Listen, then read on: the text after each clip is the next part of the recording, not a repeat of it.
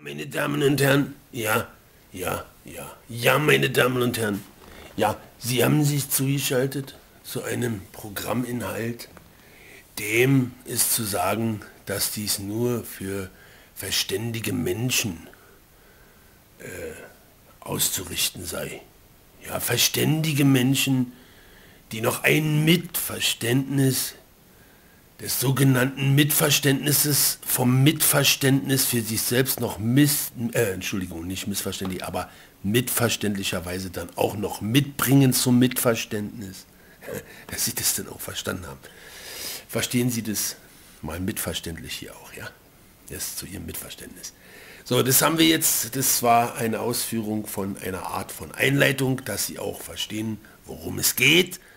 Ja, und dafür sagen wir natürlich mal wieder, hier, äh, volle Pulle, Ton ab. Na, also, das geht doch. Ja, wunderbar. So, Sie wissen, dass es eine, in Deutschland, ja, also das habe ich mir hier, natürlich ist es auf meinem Zettel hier, ja, das ist es, ja. Ja, also es gibt eine, ich habe das hier, es gibt eine geheime Anstalt für Weltverbrecher. Ja, und die ist in Deutschland.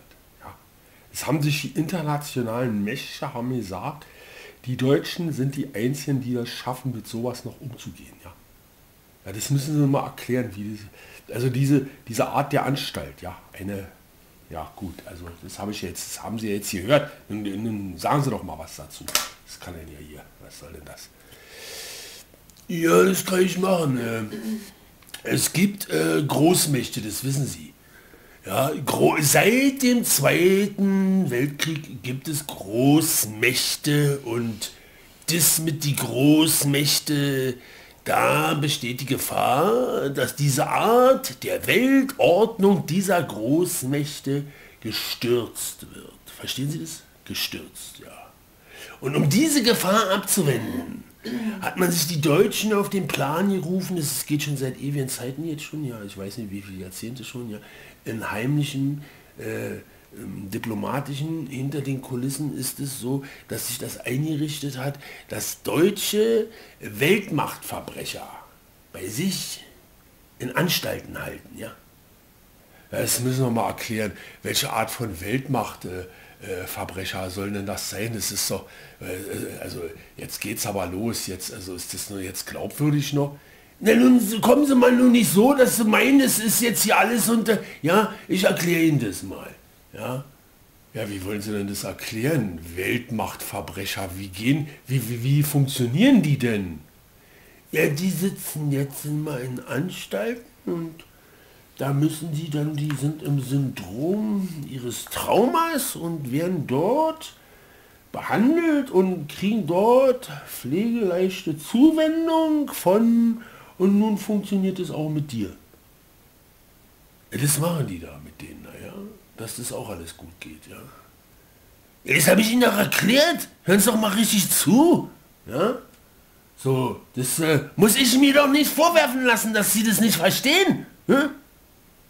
Ja? Ja, dann seien Sie doch nicht so unruhig, erklären Sie es doch mal jetzt richtig. Ja, also diese Weltmachtverbrecher, die, das äh, müssen Sie auch mal eine Frage stellen. Ja, die stelle ich denn mal. Also äh, meine Fantasie geht ja vielleicht so, ich glaube, dass Sie darauf hinaus wollen, dass Weltmachtverbrecher, die wollen eine ganze Weltmacht stürzen. Ne? Das ist es doch, ne? das, dass die das stürzen. Ja? ja, das ist so ja, dann sind wir ja gleich beide beieinander dabei, dass wir das Gleiche verstehen. Ne? Ja, und das machen die, da gehen die mit einem Taschenmesser oder mit einem, mit einem Messer machen die das. Die gehen mit einem Messer, na, weiß ich nicht.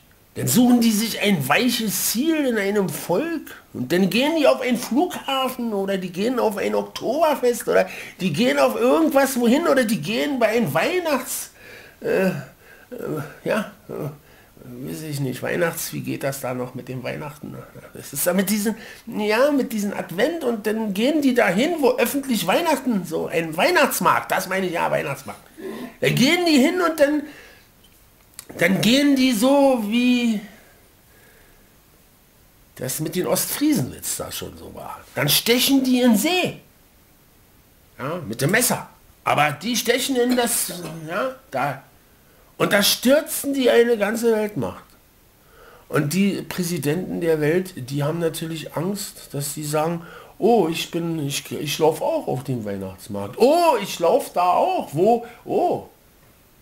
Ja, aber das ist doch nicht das Schlimme, das ist doch normaler Terrorismus, wovon Sie reden. Das haben wir doch schon, das ist doch, mit, mit ein bisschen Terrorismus stürzt man doch keine Weltmacht. Das ist doch total absurd. Nein, da irren Sie sich. Sie irren sich. Das ist die Angst, Propaganda, das sich ausbreiten als psychischen Schleier auf das ganze Volk, das da nie die Unsicherheit, das ist eine Lähmung, Lähmung. Diese Lähmung führt zu Niedergang von Millionen von Menschen in einem ganzen Volk. Wenn Sie das da, wenn da zum Beispiel im Fernsehen ein Messer abgebildet ist, ja, ein Messer, ja, und Sie nicht wissen, wofür das benutzt wird. Ja, das müssen Sie irgendwann mal verstehen. Ja, also ich habe das verstanden. Sie sind der Meinung, ein Messer ist imstande, eine Weltmacht zu stürzen. Jetzt haben Sie es. Ja? ich sage Ihnen das und ich äh, habe mir das nicht vorzuwerfen, dass ich das verstehe und Sie nicht verstehen. Ja? Das müssen Sie auch mal einsehen, ja? Ach so, und deshalb, weil es Menschen gibt, die das verstehen, deshalb wird uns das immer gezeigt so. Also öffentlich meine ich, dass man die Informationen und nun denken Sie doch mal darüber nach, ja, und die Information kommt Ihnen, Sie, Sie sind erreicht von den Informationen und dann schützen Sie das. Ja, schützen Sie das, Ihr imperialen Vorstellung von dem, dass sie übermächtig da, dass ihnen da nichts dran an ihrer Macht, solches an Prestige, da nichts dran verloren geht. Ja, das kann ja auch gefährlich werden, allein ein Messer, das müssen wir auch mal sehen, ne? das ist ja, ne? das, das ist es, ich sag Ihnen das, da, das ist es mit denen da, und das sehen Sie, ja wie, das, was sollte man da sehen? Sie sehen das, die Amerikaner zum Beispiel. Stellen wir sich mal diese Macht so vor. Die haben es geschafft, sich gegen die Indianer durchzusetzen. Dann haben sie es geschafft, sich gegen eine englische Vorherrschaft durchzusetzen.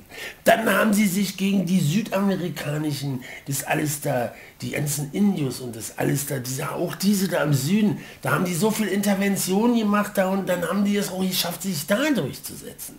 Und dann sind sie noch nach Europa gekommen und haben die gesagt, auch hier räumen wir mal auf und dann äh, äh, machen wir ein D-Day und das haben wir uns auch durchgesetzt.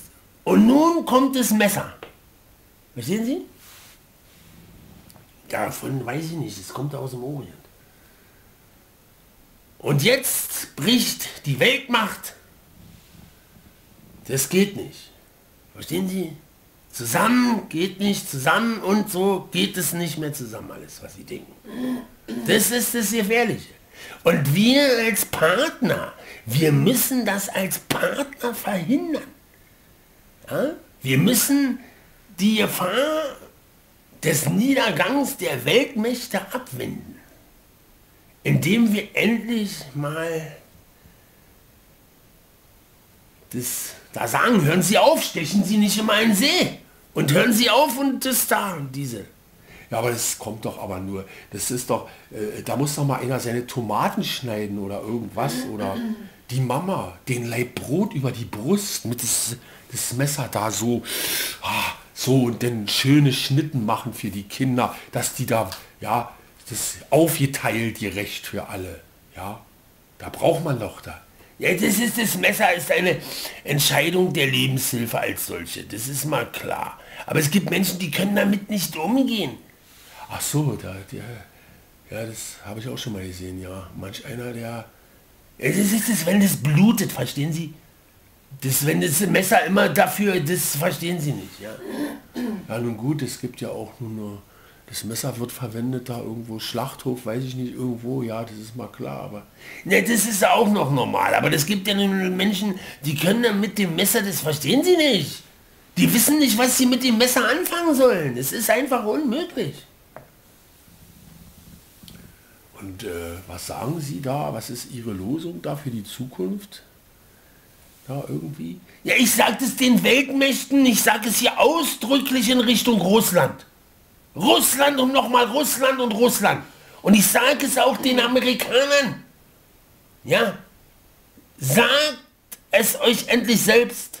Messer, Gabel, Schere nichts. Ist für kleine Kinder nichts.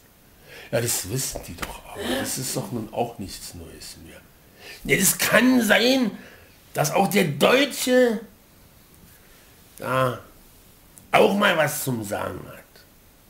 Und wenn er was zum Sagen hat, dann bin ich der Meinung, dass er das sagen soll. Ja, das verstehe ich. Das, ich sage das auch immer. Messergabe, Schere, nichts da. Das war schon immer gewesen, ja. Ja, und der Orient soll das endlich lernen. Die haben das noch nicht. Und die könnten die Weltmächte stürzen, wenn die das nicht verstehen wollen. Ja, dann sagen wir das auch mal jetzt in Richtung des Orients. Also liebe Araber, ja, liebe islamischen Menschen, ja, ihr da, äh, mir ist es egal, wie ihr lebt, ja, ihr müsst es auch mal wissen, ja. Sagt auch euren Kindern mal, ihr lieben islamischen Frauen und Männer und ihr da, ich sage euch es als Deutscher, sagt euren Kindern das. Messer, Gabel, Schere nichts, ist für kleine Kinder nichts. Das ist bei uns nun mal Ja, das verstehen die. Glauben Sie, dass die das verstehen? Wir sind eine Übermacht. Die fühlen sich an uns veräppelt und die laufen uns immer aus der Spur für irgendwas. Das geht nicht imperial jetzt hier, was die da für einen Unsinn erzählen. Ne? Ja, ich glaube das auch, dass die denken, wir wollen die, das wissen wir ja, die denken dann auch. Ja, das denken die, wir wollen die verscheißern. Na, ne? Das ist doch auch gewesen. Ne?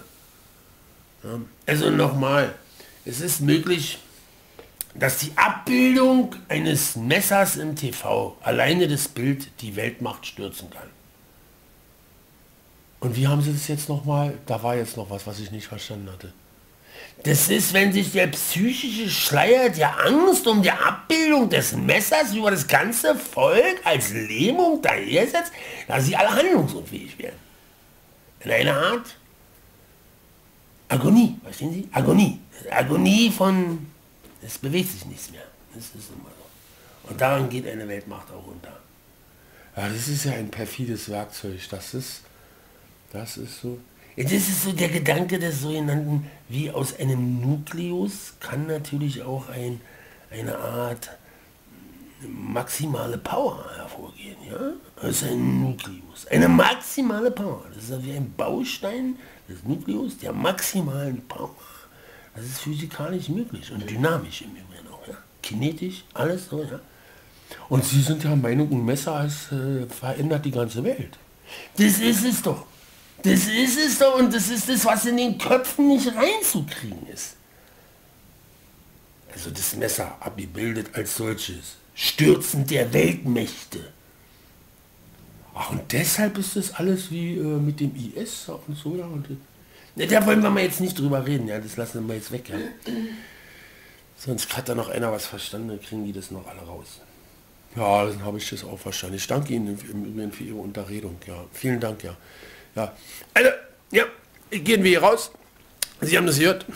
Das Messer, ein Messer, welches die Weltmacht, Weltmächte stürzen könnte. Das kann so sein. Wir glauben das natürlich. Wir sind davon überzeugt, dass das auch alles mal passieren wird. Es kann ja nicht anders sein. Wir sehen die Bedrohung tagtäglich in den öffentlichen Medien. Und weil das so ist, haben wir uns der Sache einmal angenommen. Kann es möglich sein, dass ein Messer es schaffen kann, eine Weltmacht zu stürzen. Es ist möglich. Sie sehen es, es geht. Das war's dann mal, Ihre Berliner Ecke. Ihr Sprachfunk. Hallo, hallo, Ihr Sprachfunk.